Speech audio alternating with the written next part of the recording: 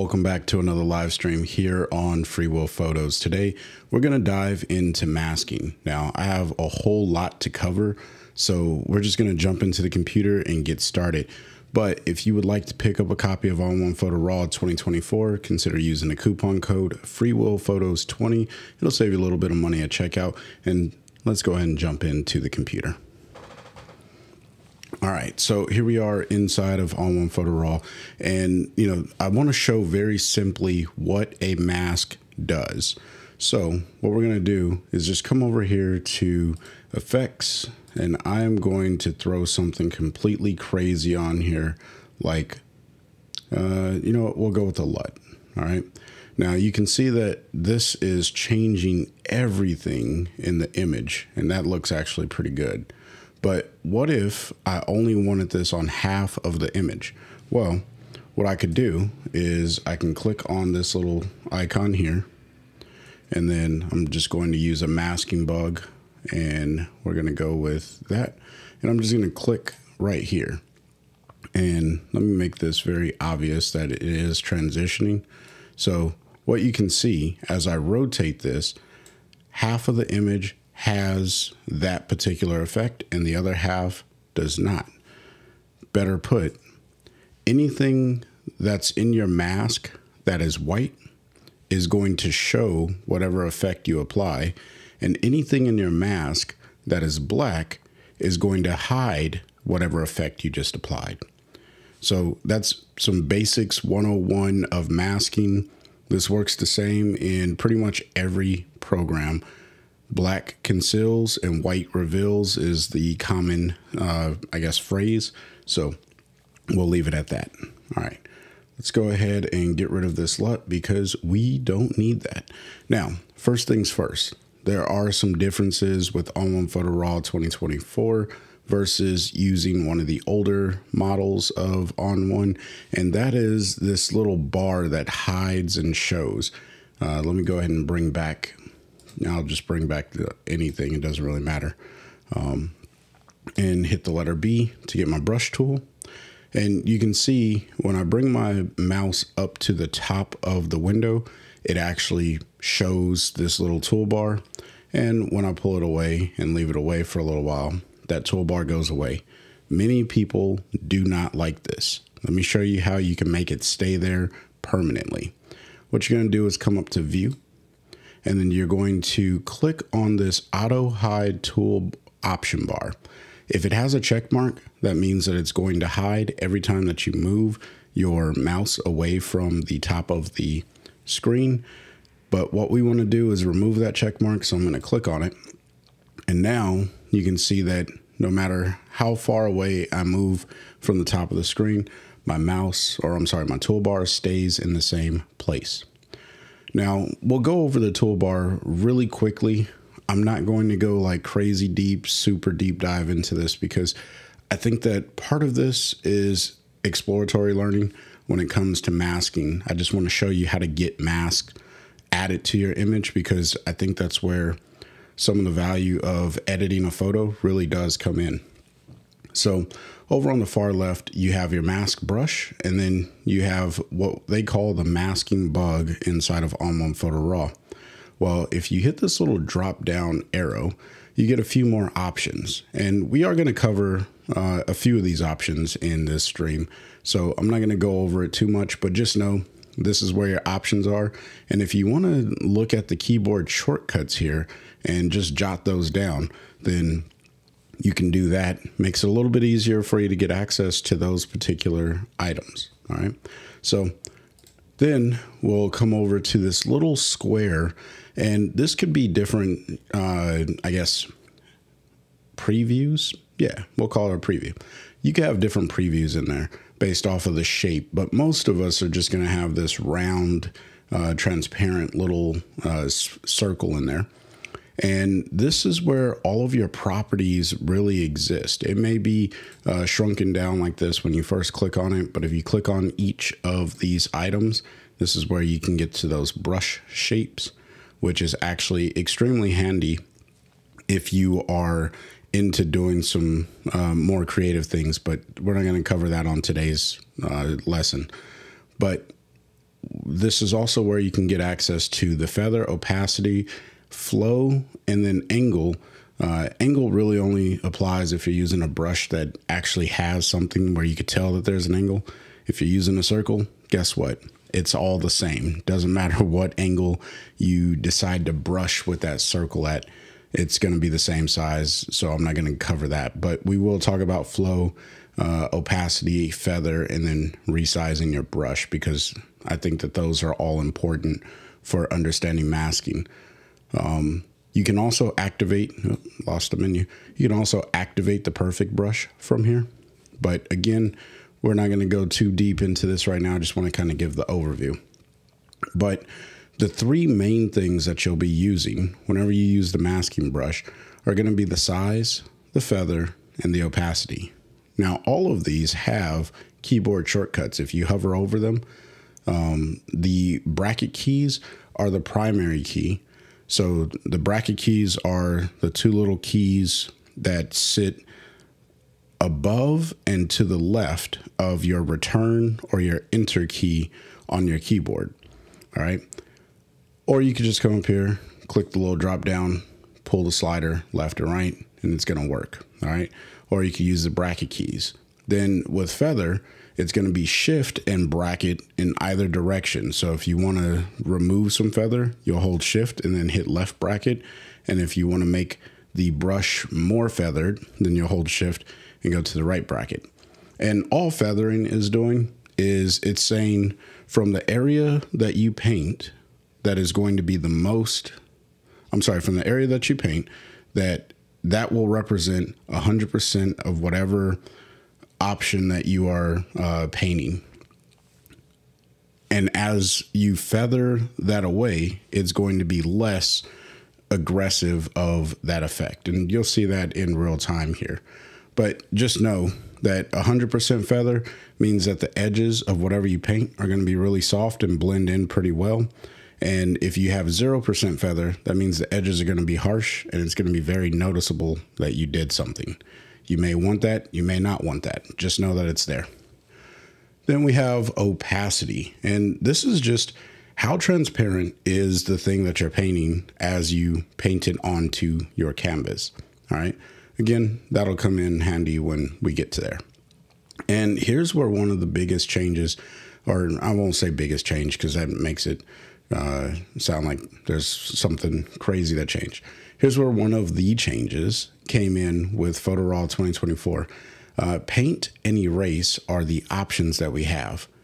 If you are on paint, you're going to have a plus icon on the center of your crosshair or your brush. If you are on erase, you are going to have a minus or a subtract symbol in the center of your brush.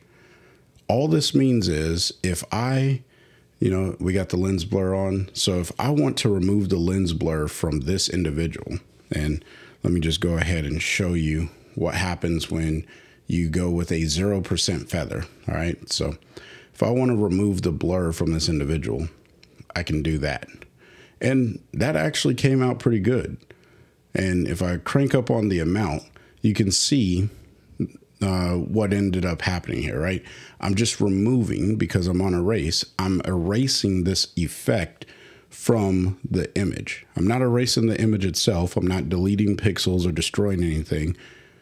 I am just simply erasing this effect. Now, we won't go into it today, but everything that I'm masking is going to be an effect that does not actually uh, remove pixels. There are maskings, and I guess by default, masking itself is non destructive. This means you can always repaint this in. So if I wanted to, I can hit Shift and X, which just changes me from erase to paint in now. And I could just go ahead and paint over this. And now I've reapplied that effect. And if I don't want that there, there anymore, then I could just paint over this and I just made a larger brush and you could see how that all works. All right. So that's masking in a nutshell. Now let's get a little bit more advanced. So we'll go ahead and paint this all back in. And we have a few options here. All right. Uh, we can use this little icon on the far right of our screen, and this is the perfect brush. All right. And what the perfect brush does is from the center of your mouse, it's going to sample and then it's going to find or the center of your brush, I should say, not the center of your mouse, center of your brush. So where the little minus sign is, it's going to sample there. And as I drag this around, it's finding similar colors. You can see how it's finding all the yellows and it's just removing those for me because that's what I have selected, which is erase. Now this comes in handy when you come to an edge and you want to uh, kind of get a very crisp edge. You can see how well it's uh, kind of cutting the subject out, but fading everything else and you know um, or leaving the effect on everything else now obviously it's not perfect because my brush is way larger than it ought to be uh, whenever you work with the perfect eraser i'm sorry perfect brush i do recommend a smaller brush uh, because this helps with defining those edges a little bit better. And you'll learn this over time, but you can see as I paint over this individual, I'm bringing back his shirt and creating a little bit of a more defined mask. All right. Now, what I do recommend is if you choose to use the perfect brush, that you only do it for the edges and then you just use a regular brush to paint in everything else. I wouldn't use this to paint in the center because again, it's sampling information and then I would just turn off the perfect brush, paint in the center like so, and you know, you can have your mask. So that is the first advanced technique of masking is to use the perfect brush. And this is really uh, a way of getting a very precise mask. If i hit the letter o on the keyboard look at how precise that mask is around my subject here. It's not perfect right? I was just kind of loosely painting and you know it's not perfect however I wouldn't have been able to get that with using just regular brush settings. All right. Remember, white is showing the effect, black is removing the effect. What I'm noticing is I have some gaps here. So I just need to paint that in so that way the effect isn't there. All right. Hit the letter O to go back to the actual image. And then I'll hit Command and Zero to fit this back into the middle of my screen. And if there's anything that I cover where you're like, Chris, I have questions, just drop it in the comment section, regardless of if you're watching this live or if you're watching this on the replay. All right. So now that we understand where the tools are and some of the basics about masking, let's go ahead and jump into uh, a little bit more, I guess, detail about masking. All right. So one of the easiest ways to render a mask, I'm just going to make this black and white. One of the easiest ways to render a mask is to use something called Super Select AI. All right. That's this little wand over here that says super. And when you use Super Select AI, what it does is it tries to find regions of the photo that actually need some sort of uh, modification. All right. So if I click here, it's going to highlight it all in blue. And then if I hover over here, it's going to highlight that in blue. And then I can try and grab some of that. It's not always perfect. All right. I just want to make that clear. It's not perfect. But what it can help you do is get a good selection of your image fairly quickly without having to use a brush. All right. And if you select something that you didn't actually mean to select, then all you have to do is click on it again and it'll either paint it in blue or it'll remove it. But I want to paint all of this stuff right here in blue. And what Super Select AI really allows you to do is you can come up to adjustments after you've selected everything that you want and you can actually throw in some different adjustments. So let's say I want to go to a tone enhancer and I want to contrast. So what it's going to do is throw a contrast over here. I'm going to go ahead and hit the check mark. And where did my tone enhancer go? Let's try that again. I'm just going to click on a whole bunch of this stuff to get as much of it as I can. I don't know why I didn't go the last time. And you don't have to be overly uh, concerned with the precision of this because I'll show you how to modify a mask here in a little bit. But we'll go ahead and right click and you know, we'll just go with adjustment and I'm going to select, uh, we want to contrast it. Yeah, we'll expose it. Why not?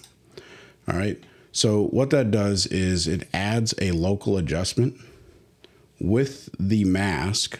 If I hit the letter O, adds a local adjustment with the mask that was just created with Super Select AI.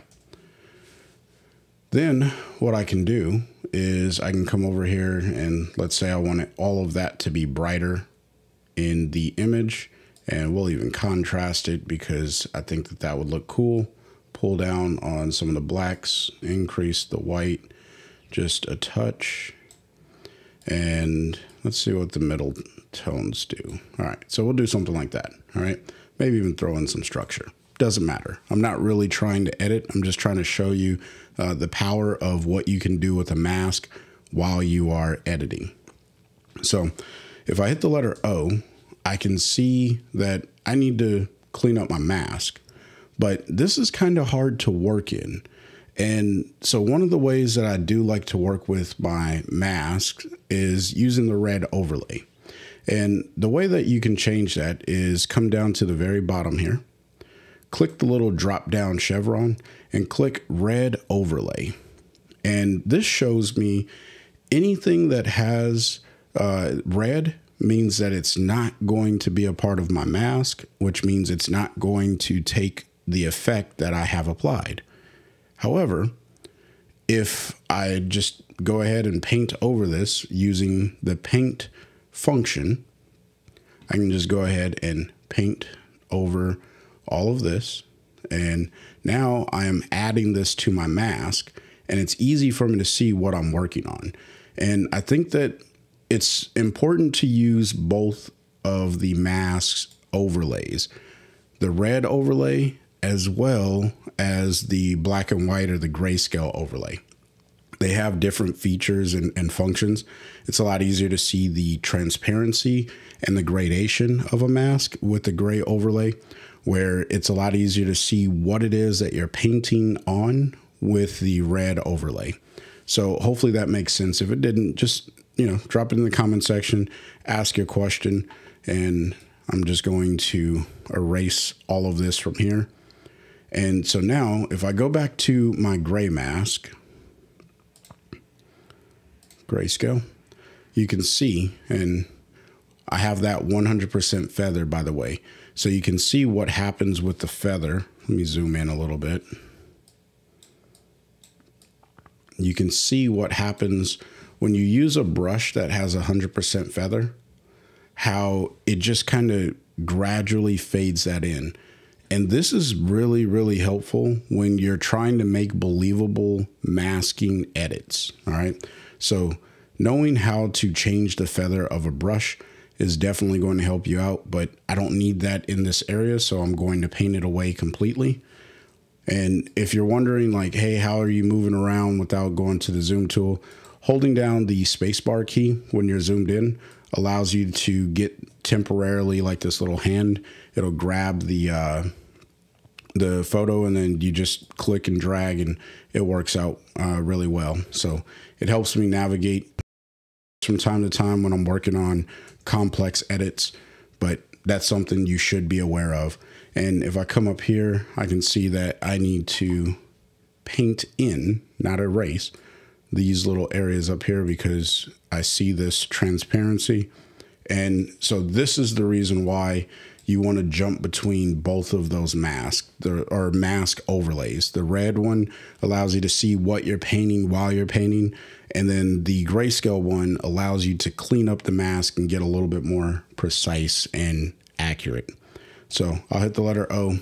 We're back on a black and white image, and let me go ahead and turn this effect off and on, and you can see how that's just changing the uh, the contrast of the image overall.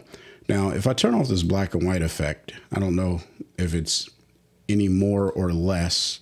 Uh, it's brighter in that area, which, you know, this could be an effect that you want to go for using this little bush area as a foreground interest um, or a foreground leading line that takes you to the subject, which should be brighter, and it makes this a little bit darker. That could be a practical edit. It could not. I don't know. That's not really the point of today's uh, lesson. It's really just to teach you how to use each of these tools so you can do this on your own photos. Now, let's talk about the other uh, major change that I kind of glossed over because it's time to start doing some stuff in there that I think is value added for the overall image. All right. And that is this floating properties box. Let me go ahead and close that and show you how to open it. Because if you're new to ON1, or definitely if you're new to 2024, you are probably either hating or loving this new uh, user interface. There's nothing I can do about it. There's nothing you can do about it. it if you want to use the software, this is the interface that we got. So I want to show you how to uh, get as much out of the interface as we can uh, with what we got. So if I click this little icon, the show hide mask options, which is like my thumbnail preview, it brings this little box up and it remembers where I had it last. So if I move it over here and I close it out and then I open it back up, well, it's going to open up over here. They call this sticky. Uh, yeah, I'm not going to get into that. Just know that if you want to open up the properties box, you got to click right there. It's going to open up the properties box and you'll be good to go. All right. Now, what is worthwhile mentioning here is notice I'm on the masking uh, option set, if you will. And underneath, I have something called Mask AI. What this allows me to do is I can select different aspects of the photo based off of what Mask AI tells me is response or in the photo or thinks is in the photo, I should say. So I have background. I can hover over that. I got foreground. I could hover over that and you can see the red overlay updating on the screen. So it is saying that this individual, which was my subject of this photo, is my foreground and then everything else is the background. So it's doing a pretty decent job of finding the foreground and background, uh, at least in this particular image. It does not always work that well, but in this image, it's doing pretty good. Then it starts to give you individual things that the artificial intelligence is picking up on. And this is one of the big things about using something like this. You don't have to use a brush all the time. So I can very quickly build up a mask around this individual. I don't know what it's identifying as sky. I don't see that red overlay, but it's identifying food there. I don't need the people. And then it's identifying transport in the back. And I'm leaving the flora left out. So if I just go ahead and hit apply, what it's going to do is change my mask to whatever I just selected. All right. Now, that could be helpful, that could be not so helpful. I'll leave that up to you, depending on how you like to work. All right.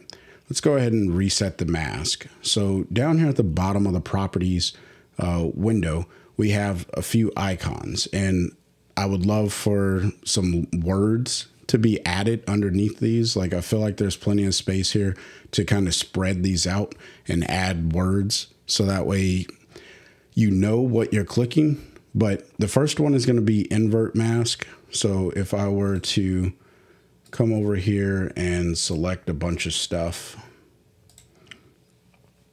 So I'll hit the letter O so you can see this in action. Right now, everything that's in white is being impacted. But if I wanted to do the opposite of that, I can hit invert and now I'm impacting everything that was black. Uh, so I can flip the mask back and forth. This is really, really handy when it comes to editing everything else uh, in your images. Then you have luminosity masking, which I'm not going to cover it uh, right now. I will show you that you can create something based off of the brightness of your image. In order to kind of tweak the luminosity mask, you have to use this window slider. Right now, this is masking the entire image, but if I only want to focus on the brightest parts of my image, I need to move this left uh, dot more over to the right. And what it does is it adds it the mask only to the brightest pixels in the image. All right. Uh, luminosity masking is another one of those advanced masking techniques. Super, super useful, especially in landscape photos, but you can find use for it in every photo. Um, and I'm not going to go into great detail on this. Just know that if you want to use luminosity masking, the way to modify this at least to select the range for the light is to use this little dot here. The challenge with this, you don't know what this represents. Like if there was a numbering system on here somewhere, I think that that would be helpful. So that way I would know, okay, this is, you know, if we say that this is zero and this is, you know, I don't know, just some numbers, right? Uh, this could be zero over here. This could be 100. And as I move this in to 40 and then I move this down to 70, then at least I have some numbers that I can kind of think of in my mind and say, okay, what does that really represent? Uh, if you're familiar with the zone system that Ansel Adams used and what DxO uses in their uh, software, then this is one of those things that ON1 could definitely step up the game, but I won't get into that. Nonetheless, this is how you can modify the um, luminosity mask. Then you have the reset mask.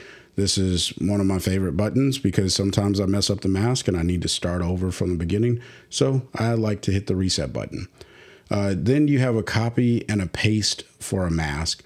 What this allows you to do, I'll just hit the luminosity button here and I will pull this up and I'm going to feather this mask, which just makes those edges less defined. Very, very useful for uh, blending things in an image. And then I'm going to hit copy and I am going to add another adjustment this time, you can see that the mask doesn't have anything on it. It's just a blank mask. But since I copied that last mask, what I can do is hit paste. And now you can see I have that mask again. This is extremely helpful if you need to do something where you already created the mask and you spent time, especially if you're using like the perfect brush or something like that, and you're like, man, I don't want to redo that. Well, just copy a mask. And if you need the opposite of what that mask is doing, then you can just hit the invert button and look, all of that works out just the same. All right. And then the last one is the show hide mask button.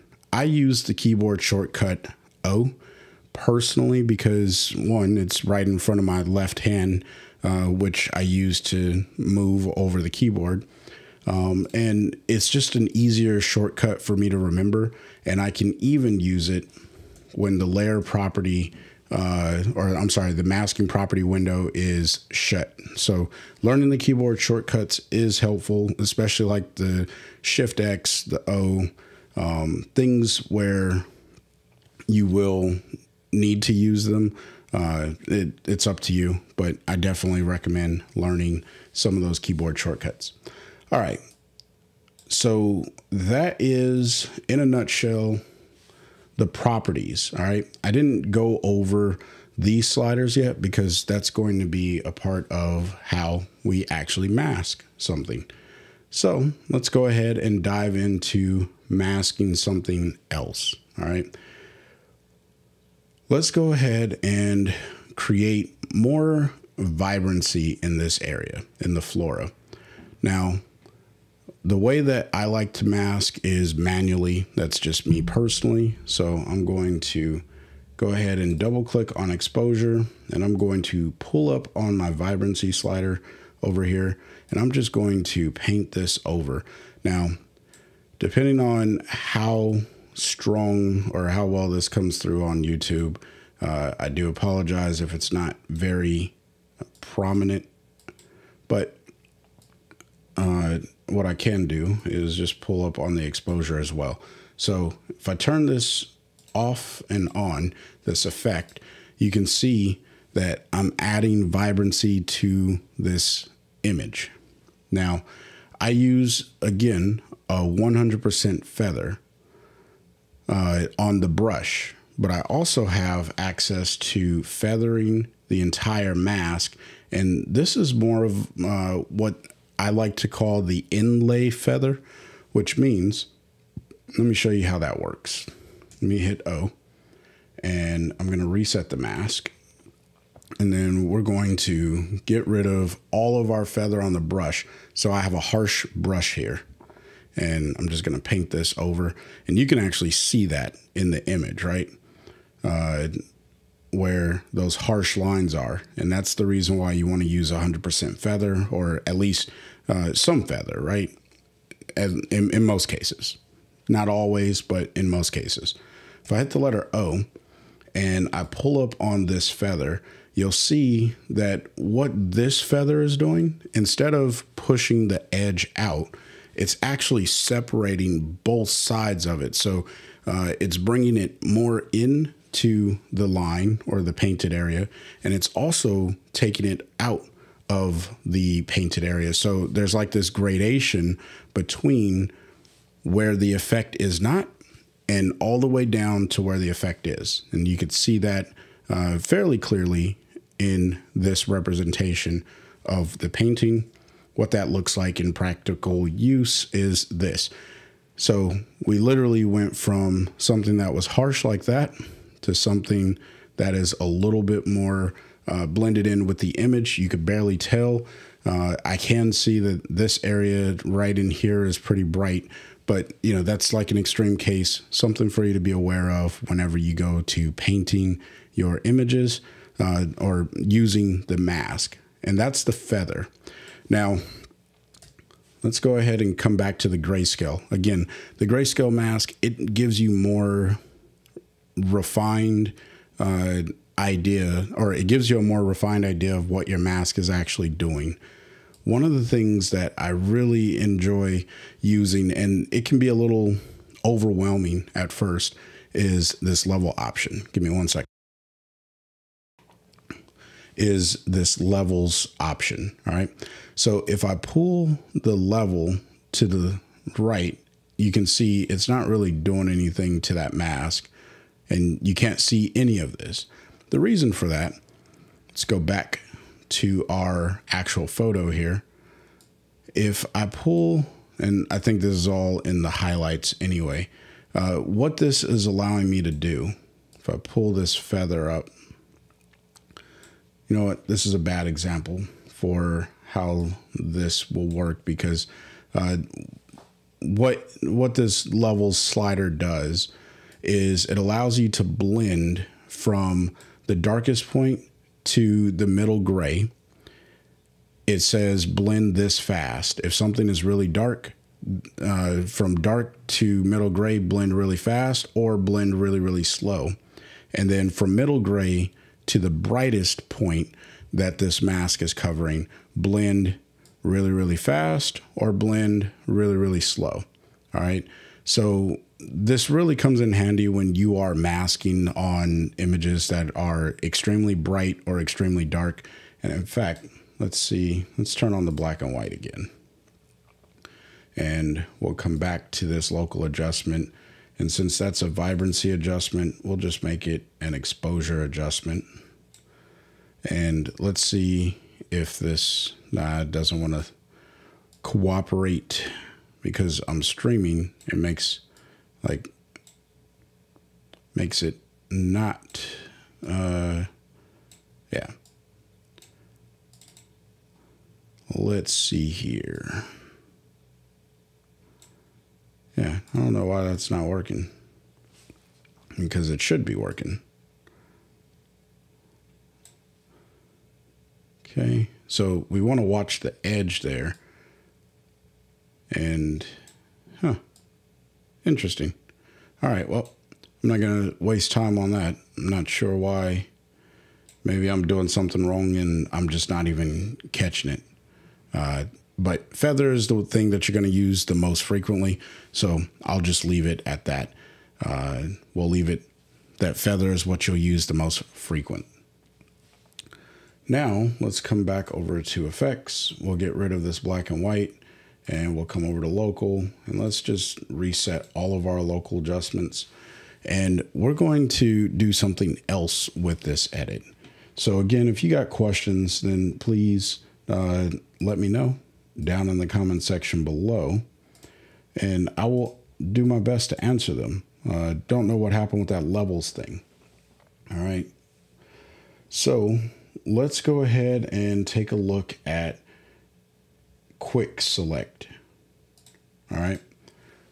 Just looking at my notes, making sure that I don't miss something.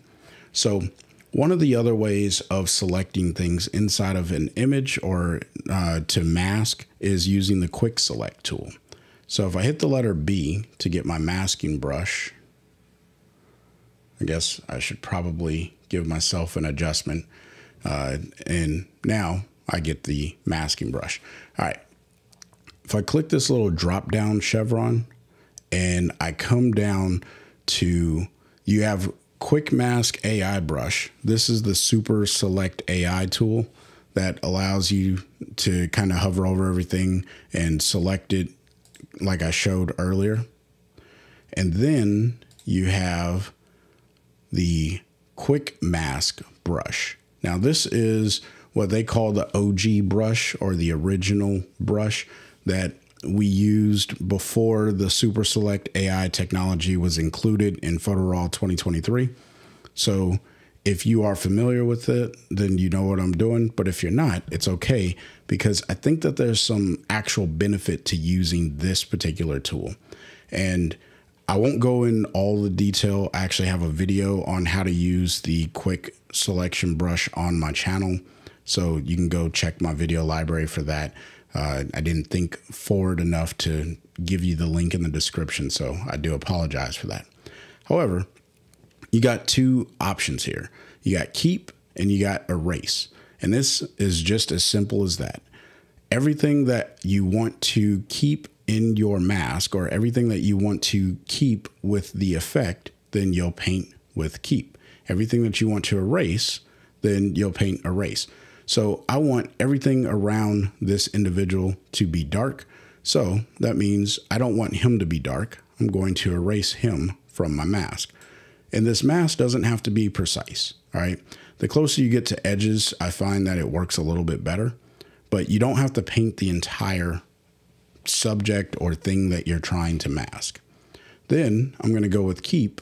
And all I'm going to do with keep is with a fairly decent sized brush, I'm going to paint all the way around this individual, just like so. And I'll even add in that bottom piece like that. Now I've given ON1 enough information to go and make an adjustment. But for some reason,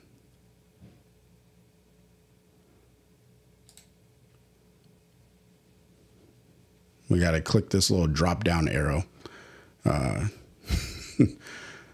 it's building the mask. So this is a little bit different than what we're used to uh, in the previous versions, but this little drop down arrow in between the reset and the check mark, that's what you click to create the mask. And as you can see, it takes a little bit of time. Uh, in previous versions, it didn't take this long. But it is what it is. We got 2024, and this could be my fault. I don't know. I don't think it is. And hopefully, it builds the mask here pretty soon uh, because what it's going to do is everywhere that I paint it red, it's going to go ahead and uh, give me a red overlay, and everywhere where I paint it green, it's going to give me a green overlay, and it kind of blends the two together. So it's really, really helpful, and also really, really lengthy for some reason. Not sure what's going on here because this this normally doesn't take nearly as long as it's taking right this second and you can't really do anything else in the software uh, while this is going so hopefully yours doesn't give you an issue like this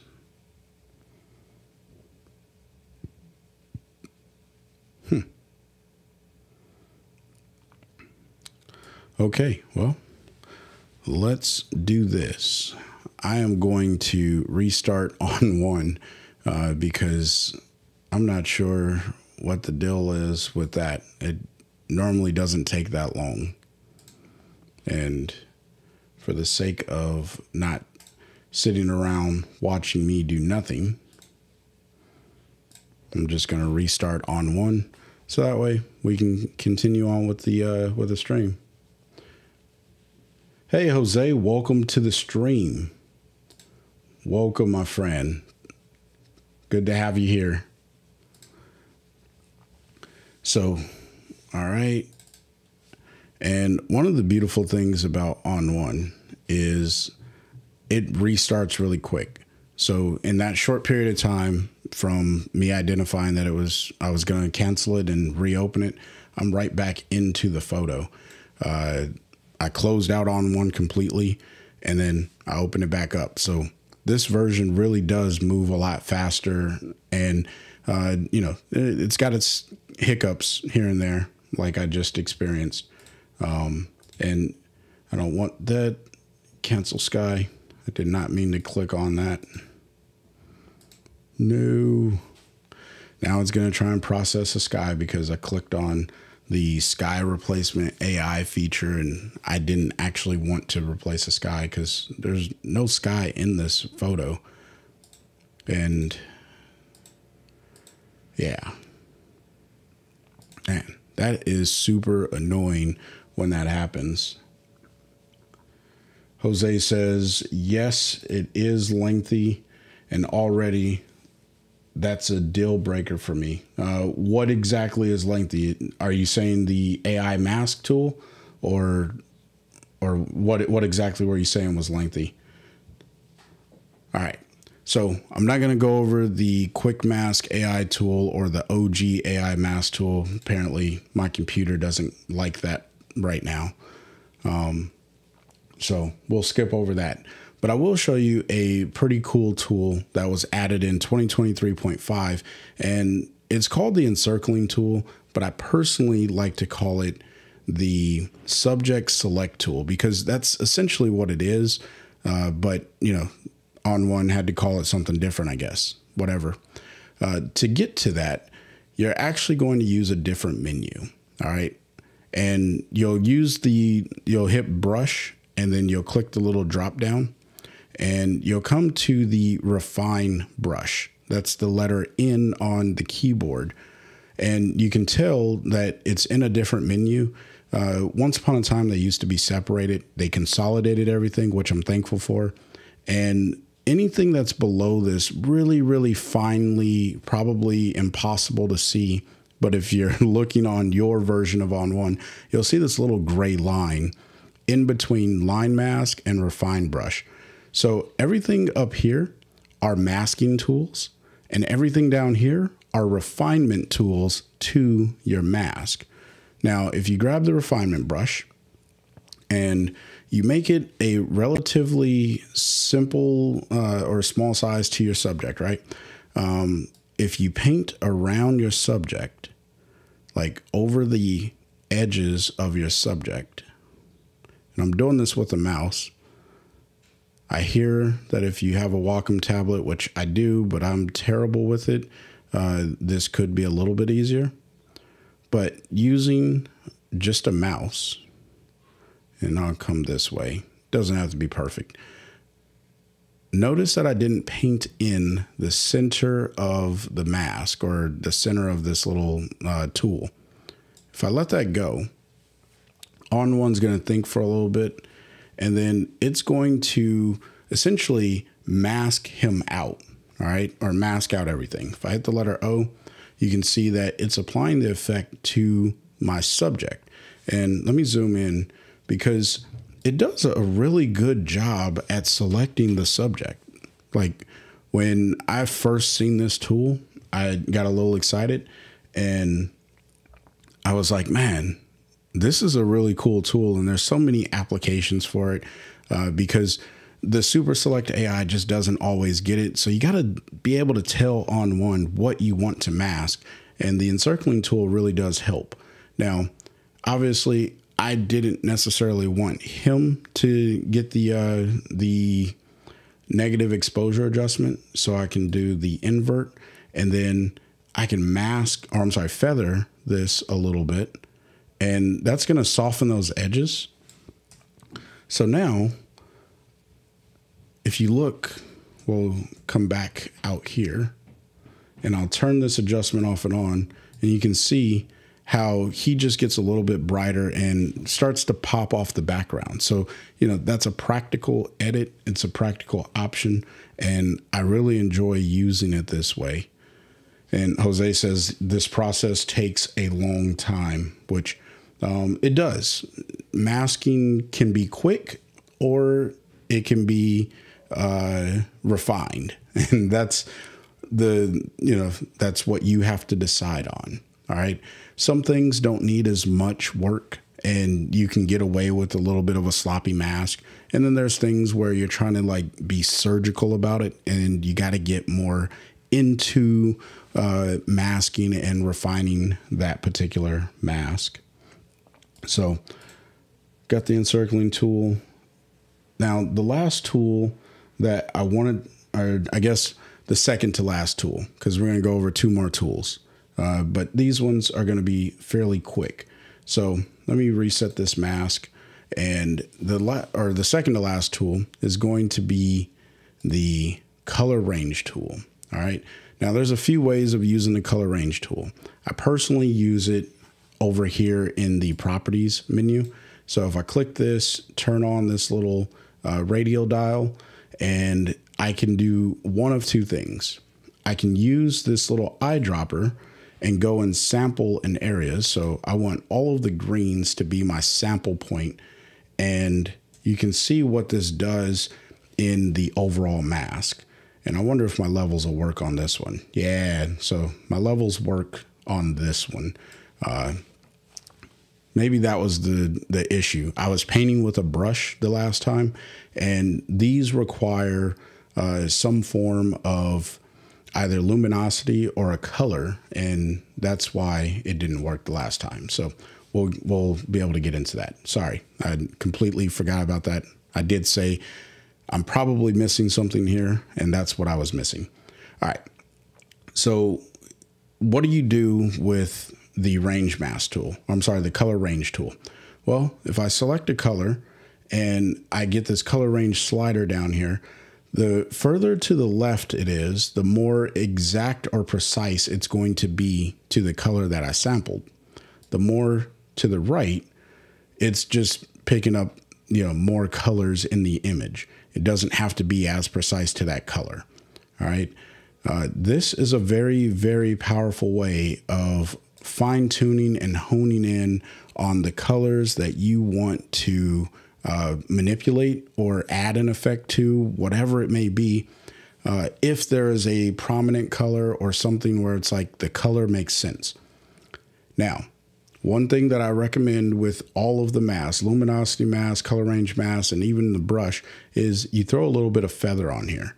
The reason, if I hit the letter O, look at how uh, you know, with a negative exposure um, adjustment, look at how aggressive that is. But if I were to pull up on the feather, it kind of fades it out. So now it looks more natural to the overall image. If I hit the letter O, you can kind of see what that's doing.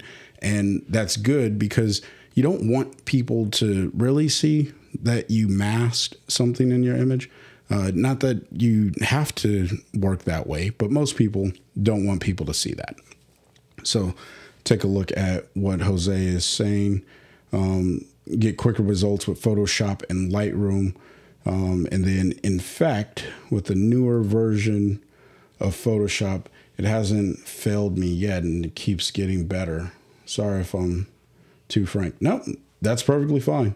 Uh, everyone has their own way of working with photos. And if you prefer Photoshop, which I like Photoshop too, um, I just personally like working in On1 because everything is pretty streamlined for me.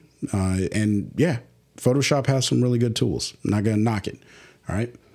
Um, with that being said, using the tools that are here inside of On1, we'll go ahead and pull up on this exposure and you can see, you know, how that's really helping me with uh, identifying more in this image.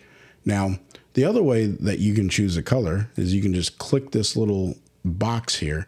And let's say you knew what color you wanted to work with, or uh, maybe you kind of wanted to sample around.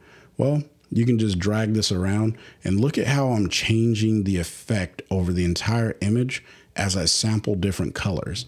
And this is extremely helpful when you have a photo where there's a myriad of colors and you're like, I have no idea what I want to do.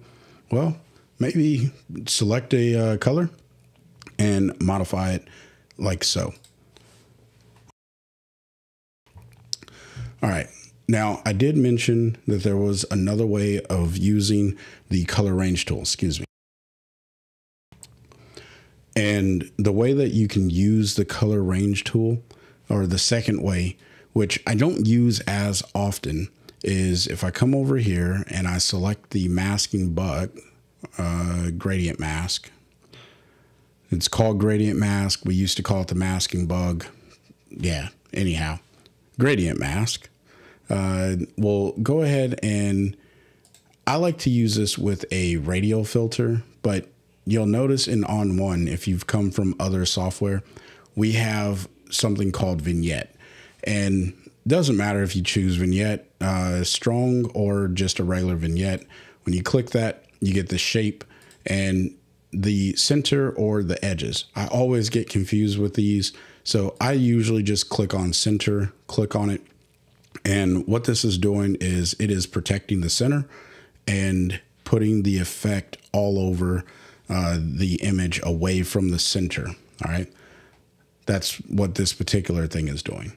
Now, if I come up here and I click on color range, it's now sampling instead of this color over here, it's sampling from the center of my radial filter. So uh, where my mouse is right here in the middle of the screen, so to speak, that's where it's sampling. And if I pull this over here and update it, you'll see the color in my swatch updates. And if I hit the letter O, you can see that I can go all around this image. And it updates once you set it down. It doesn't update in real time. Uh, you know, if your computer updates in real time, then that's great. But mine doesn't. It updates after I set it down. And there's nothing wrong with this. I just personally don't use it. If you find value in using this particular method of masking, then go for it. I personally like to sample the color over here and let it go across the entire image. All right. Um, and then brush it out wherever I don't want it, things like that. I like to manually brush things, but uh, if for whatever reason you find value in using this particular tool, then uh, that is the second way. And this also works if you come over to, we'll go linear bottom, and I can still sample based off of what is in the center, the, the larger circle, right? There's two circles here. So I have the little circle, which allows me to rotate the direction of the mask and then I have the larger circle that's actually sampling the area. Now, again, using the color range tool here, I can pull down to sample more closely to the color that I am actually uh, sampling here. And you can see just how refined and finite that can get. And then I can also pull up. And, you know, I, I feel like there's some absolute value in being able to mask in this way. I just personally have not done it. So that's the reason why I'm saying uh, you can go for it. And I think that you'll find some value in doing this, but I personally have not uh, found the value in it. But what I will say is you should feather at least a little bit to blend things in so it looks more natural as you make whatever adjustments you're making. So I can, you know, do all kinds of stuff here. Um, now, what I did mention earlier, we'll talk about levels. So let me pull down the feather. And in fact, I'm going to get rid of, we'll just pull it down like so. Okay. That should be a good selection. We'll see. Um, okay, Jose. Thanks for hanging out. Um, and welcome to the channel. Thank you for the subscribe uh, and the like. Man, you are amazing. And I hope to see you around. Uh, and yeah, I, I use Photoshop too. So I fully understand the the draw to Adobe products and I'm not knocking them. I just personally like to work in one program and ON1 allows for that. And I guess I also use plugins, so not always in one program, but uh, ON1 allows me to do 95% of what I want to do for my personal workflow and photography. So, uh, but great to meet you, Jose. And uh, yeah, we'll, uh, we'll, I'll be here. So I love to see you around. All right. So earlier I talked about levels and window. Now, window still works the same. The closer you get to the brightest areas, that's what's going to impact the overall uh, mask here. The closer you bring this to the darker areas, and then you can do some combinations in between. Again, this is where that gray scale masking really, or mask overlay really comes in handy. You could double click the words to reset. Forgot to mention that earlier. So if you find yourself with things like this and you're like, ah, I don't want to just pull those both back, just double click the words. It's going to reset it, give you the full spectrum of the luminosity that you have from the darkest shadow to the brightest uh, highlight, so to speak. All right. But with levels, this works a little bit differently. This is going to say, how fast do you want those transitions between the darkest areas to the middle gray? How fast do you want that transition to happen? If I pull this middle slider over to the left, it's going to happen from the darkest to the middle gray. It's happening really, really fast. And then I can even pull down on my highlights, and you start to get these more harsh uh, transitions. And this could be helpful, this could be desirable if I crunch everything together, right? Let me just reset that real quick. And I could also make things really, really uh, not dark, but essentially saying, okay, I don't want this in the darkest areas or the, in, in this case, I think for the color range, it's probably the areas that don't have as much of this color, I don't want you to include that. I want you to only focus on the areas that have the color. So this is like a tolerance slider almost, kind of similar to what's happening with this one. Just a more fine tuned version of it. I hope that makes sense. I promise you, the more you practice with this, uh, the more it will make sense for your photography. Uh, don't be intimidated by it, is what I would say, right? Just use it, see how you can really manipulate things with it. But I always recommend throwing in a little bit of feather. All right. So that is the second to last tool.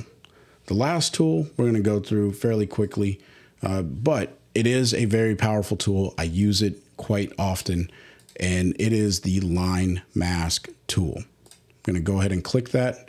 Let me hit the letter O so I can get my um, my photo back. And let's say you were working with something that was very symmetrical and you wanted to keep the lines pretty precise and a brush just isn't going to cut it. Well, I'm going to click here, click here, click there. I'll come over here and then I'll complete my circle like so.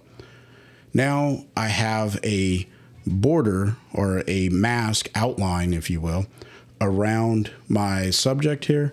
And if I click the plus icon, it's going to paint in whatever modification that I have here.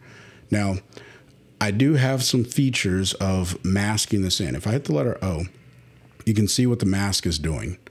I can pull up on the feather and you can see how that's feathering those edges. So that way it blends a little bit better. All right. Or I could take the feather all the way down and now it's like these really harsh edges. Both could be uh, very helpful.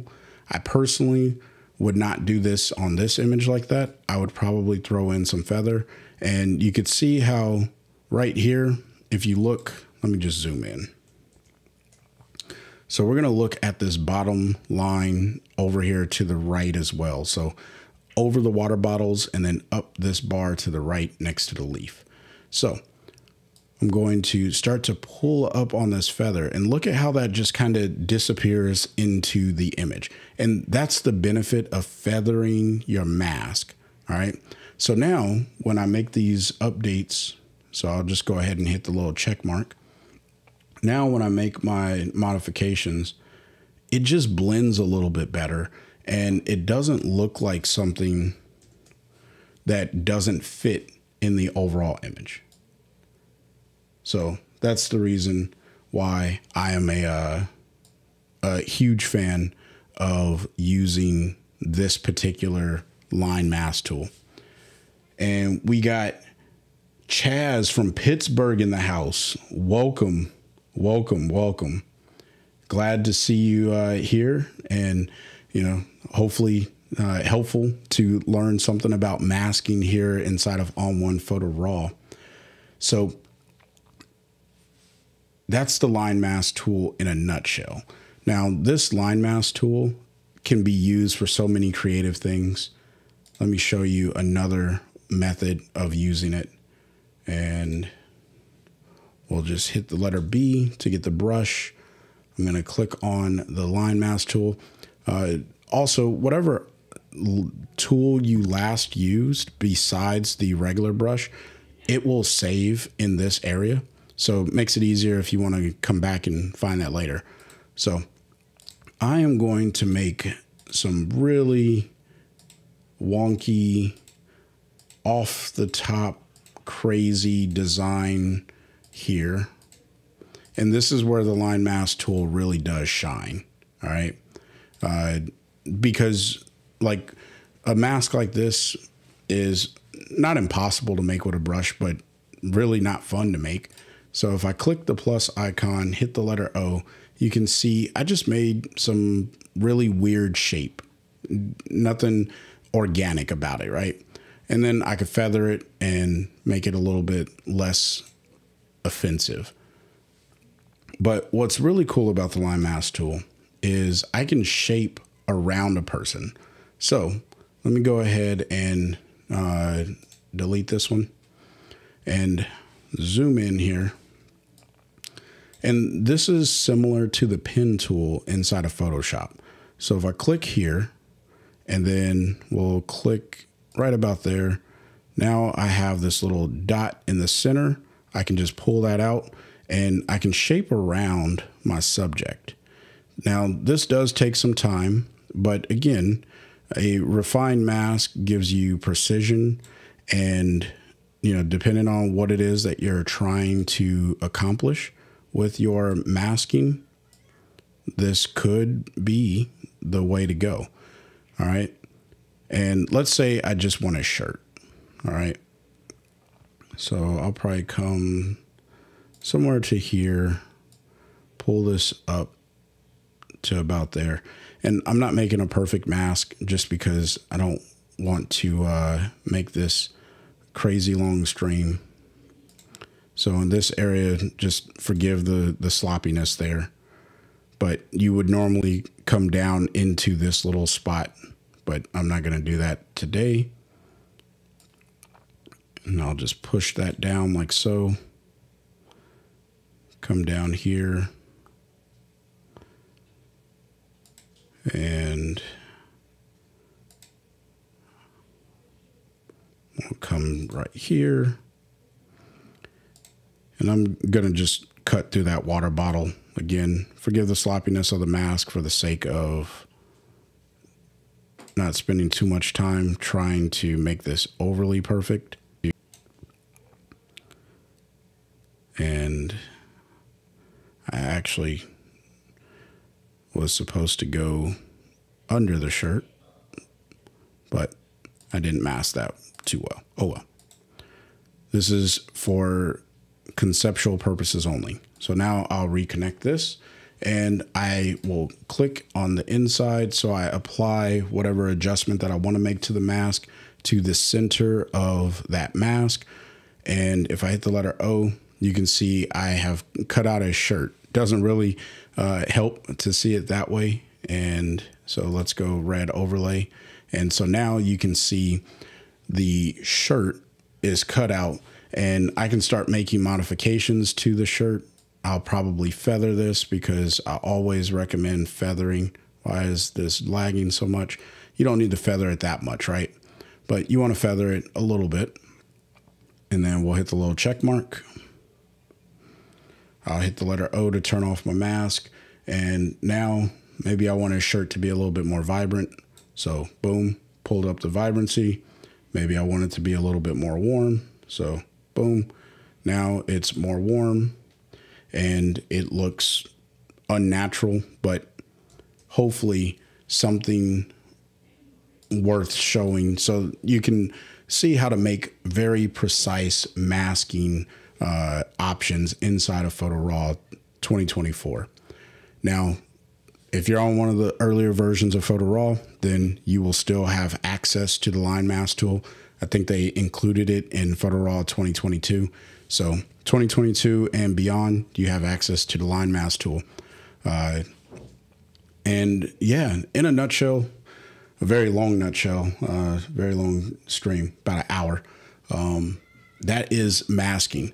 There are so many different things that you can do with combining these particular tools to modify your images and there's so many other features that I just don't have time, unfortunately, to go through every single aspect of what you can do with a mask. What I will say is try using the things that I showed on your images. And wherever you run into issues, let me know. I will be more than happy to help answer those questions. You can send me an email at freewillphotos at gmail.com or you can leave a comment down below. You can go over to my website and uh, use my contact form on the website. I'm responsive in all three of those locations. So please uh, don't feel like you have to suffer alone if you are struggling with ON1. Uh, I would love to assist as best as I can. So, with that, I will have to uh, end the stream here. I got to get to my my day job and uh, you know, I'll be back. So hopefully you found value. If you did, smash the like button. If you're new here, hit the subscribe. And if you want to save some money by picking up things on the ON1 website, then consider using my coupon code FreeWillPhotos20. And until the next time, I want you guys to stay inspired and keep creating. Peace.